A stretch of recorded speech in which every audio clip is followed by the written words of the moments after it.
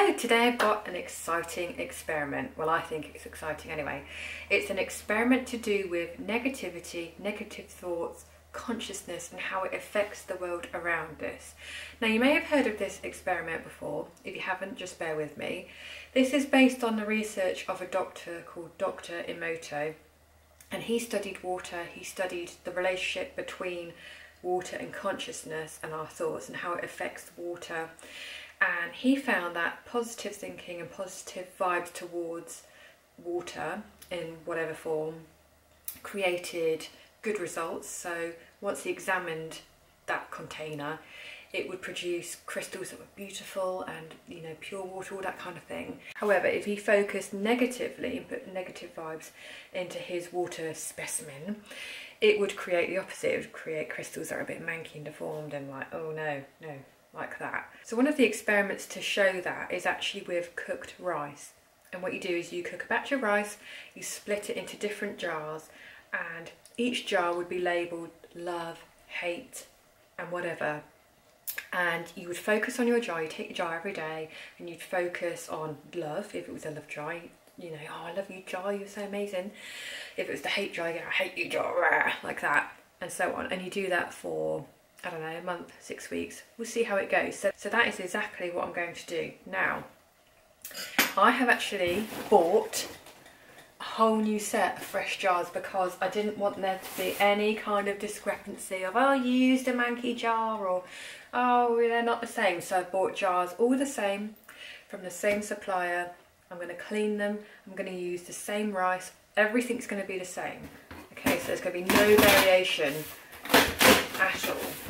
And you know me, I keep on banging on about positive thinking and stuff. So if I can prove it in some way, I'd be well chuffed with that. So let's see what happens. And if it doesn't go as planned, I don't know.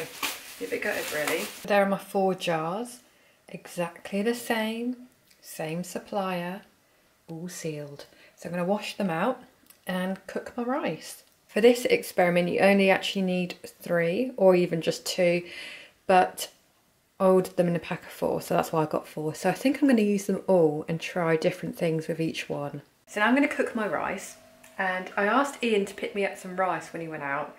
And he bought me three kilos of rice. Okay, I only needed one because I want it to be all from the same packet. Okay, I'm not going to do different packets, they're all going to be from the same packet. So there's no variation. I haven't actually cooked rice for ages. I've been using these, the microwave ones, for like two minutes, whack it in, job done. So yeah, I've got a lot of rice to eat. Not the stuff going into the jars, I'm not going to be eating that if it goes manky. Yeah, a lot of rice to cook. Are you the same? Do you cook rice anymore? Or are you naughty like me and do microwave stuff? I'm going to cook the whole packet and distribute it between my containers equally, equal measures. I think that's the way forward. Right, so while I've got my rice cooking, let's take a look at my board of life.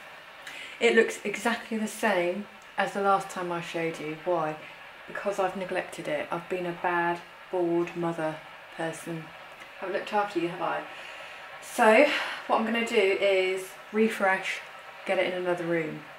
The reason I'm doing that is because I now have my own space upstairs, my office. So, this is going to go upstairs. I've liked having it here so that I can have constant reminders and I'm like putting it out there to the world. But now that I've got my own space, I can actually sit in there and be calm and, you know, concentrate and get it out there. So yes, that's the plan. So I'm going to take it upstairs now, or in a minute, after I've done the jars. Yeah, and I've been looking at this, every time I look at it now, I'm like, I feel negative about it because I'm like, I've neglected that, it's not how I want it to be. So I'm sending that out there instead. So it's not good. This is not doing us any favours whatsoever, is it? Board, board of life. So yes, it's coming down. Well, the board isn't because I got Ian to screw it on. I was like, yes, that's staying there forever. That's screwed on. So this board is actually going to be my organisation board for the kitchen. You know, general organisation. And then my board of life stuff is going to go upstairs into my office. In fact, while it's cooking, let's go and have a look. Here we go, this is my new space.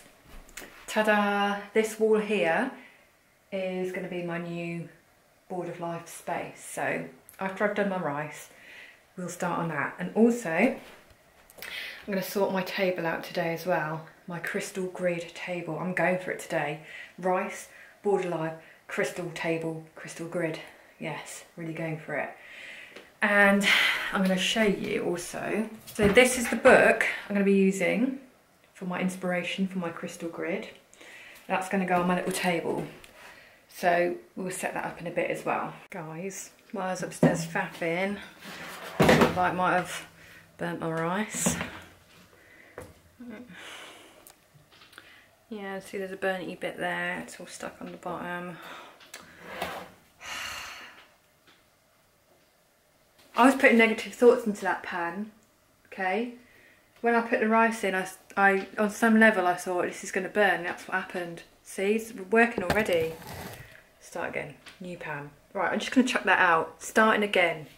This is gone. This is not part of my experiment. Gone. See? This is why Ian bought three bags of rice. He knows me well. Told you how to cook fridge. But I promise you, I'm not going to put manky rice into my jars. It's got to be right. If I have to go out for another kilo of rice, I'm doing it. One bag down, two to go. Rice is on, back in the game. Easy this. Uncle Ben's. Right, so I'm not going to leave the kitchen. I'm going to sit here and draw my lids of what's going to go on the top of my love, hate and all of that. So I'm just going to draw circles on paper that I can cut out and stick on the top of my jars with my words on.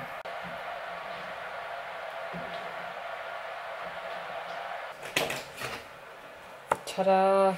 I'm going to do four of these and then they're going to stick on the top of the jar like that with my words on. So I raided the kids craft drawer and luckily I bought some glue the other day. Yes.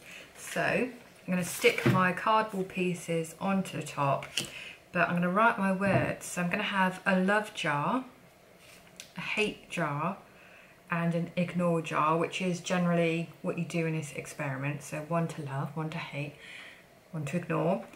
And then I've got a spare jar and a lot of spare rice.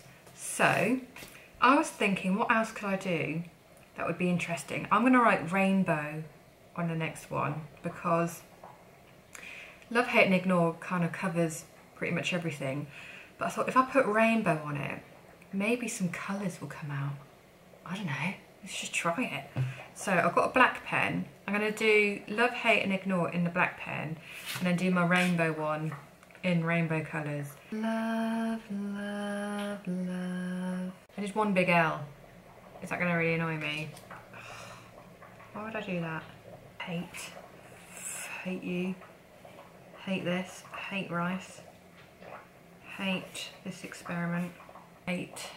And then ignore. Don't even know what this is. You don't even exist and just there's nothing here. Ignore. Rainbow.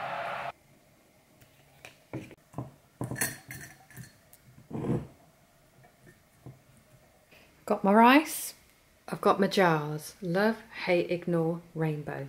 So I'm going to fill them up with my rice. I'm going to use this glass as my measuring glass, Ian's Batman colour changing glass that doesn't colour change. You know, one of the quality ones off of eBay, that one. So I'm going to fill it up level and put one of them into each one so it's fair.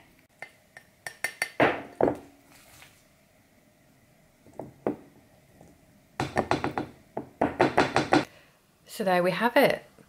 Now I didn't wait for the rice to cool down because I figured that it will lose water if I let it cool off. So this is based on water, this experiment. So I've left it to cool off in the jar itself.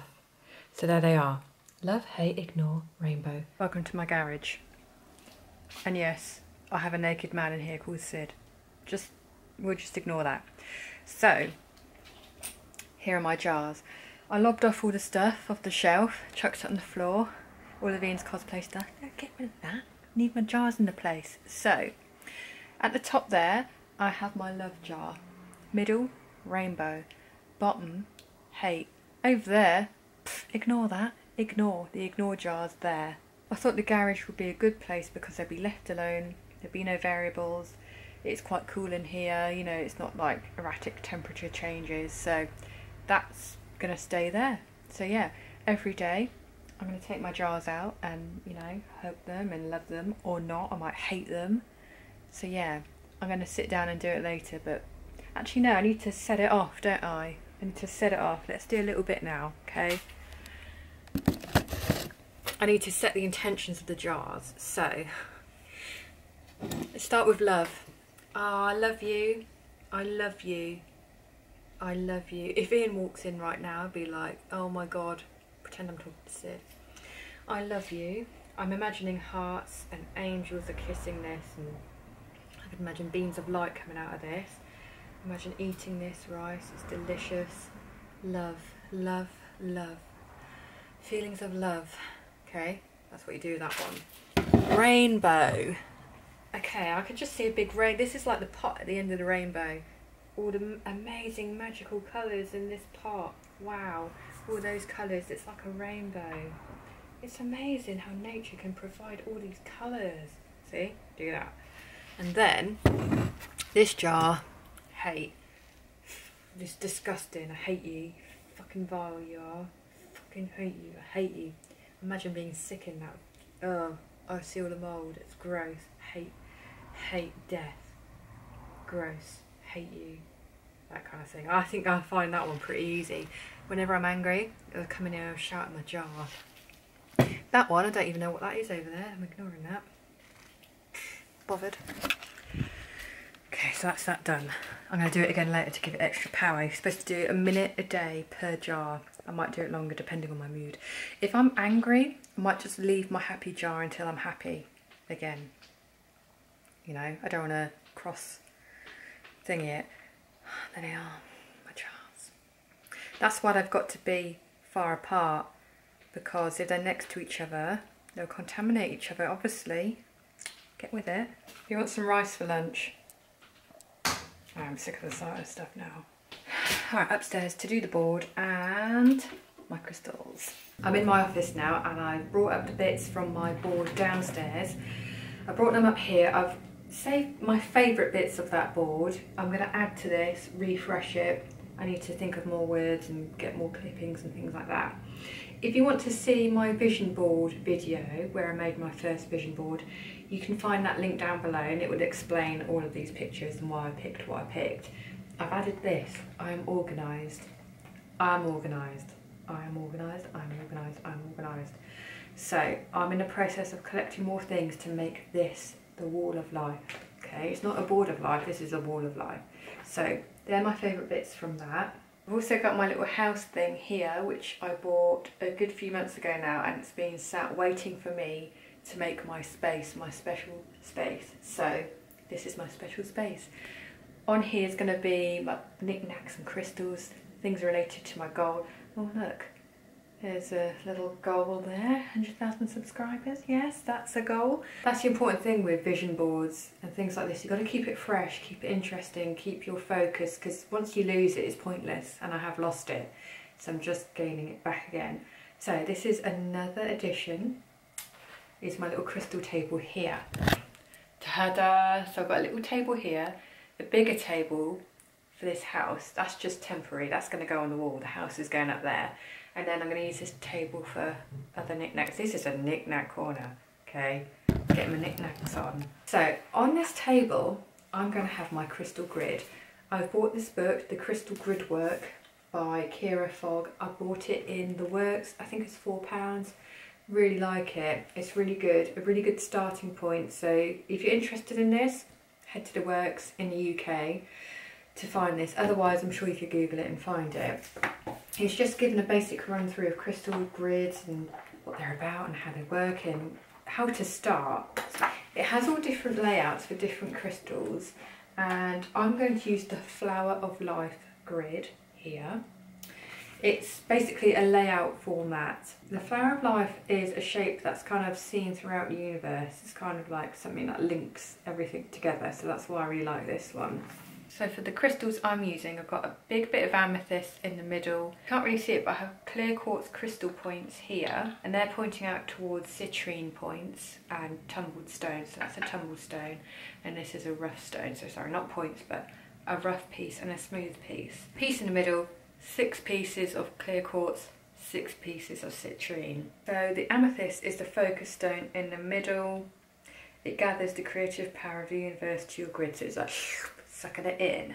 And then the second set of stones are the way stones, so that pushes it out towards the last stone, which is the desire stones. Focus stone, way stone, desire. So this channels the energy, this points it out towards the desire stone. So this one is like the one that you really want. And I've placed this here next to my wall. So when my wall is finished, it's going to supercharge it and yeah, get it out there that's my little grid. This is just my starting point. I'll probably mix up and change it. I might even print off the Flower of Life grid from this book, photocopy it, have the grid down and fill out the crystals. So if you're interested in this and you're a bit confused and you don't really know what to do and you're a bit like, okay, this book is really handy. I've got my little knick-knack corner here, my little goals, got my crystal table and then up there I'm going to have all of my pictures and words. So this is like the area of focus. So that's my setup. I have been rethinking my goal.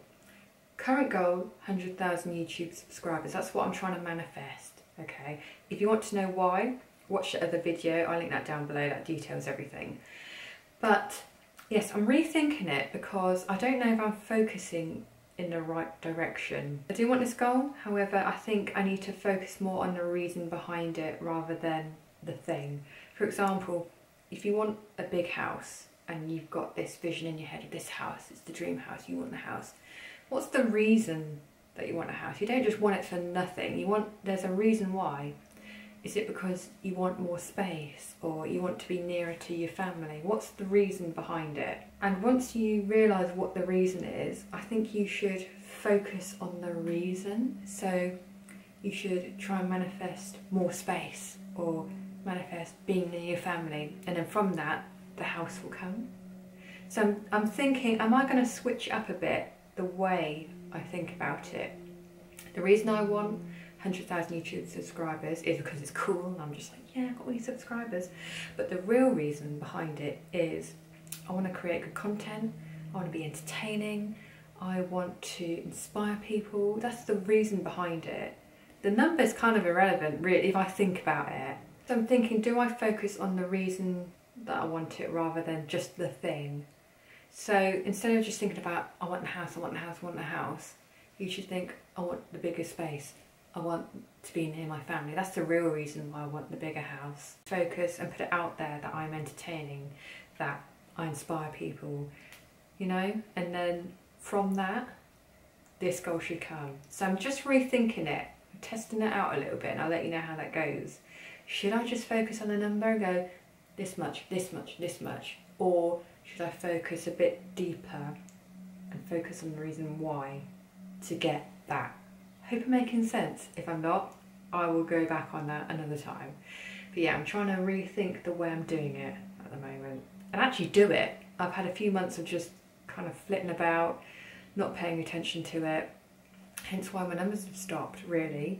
If you've noticed, I don't know if you're watching, but I had a massive growth. I like doubled my numbers in a really short period of time. And that's when I was focusing on this. When I stopped, I went on holiday and just stopped. I was like, I'm having a break. It stopped. Well, it slowed right down. Is it a thing or am I just not making good videos? I think it's a thing. Right, so that's it for today. I'm going to go and colour in my mandala, stick up my poster, bling up my area and go and tell my jar off, okay? My hate one that is. The love one, I'll give it a cuddle and a kiss. I'll be back with my rice update in another vlog exciting. I'm going to give it a good while. I'll probably update you in another vlog, but I'm going to give it at least six weeks to, you know, let the mould really grow in the hate jar. Okay, we'll see how it goes. that's it for today. Thanks for watching and see you in my next video. Bye.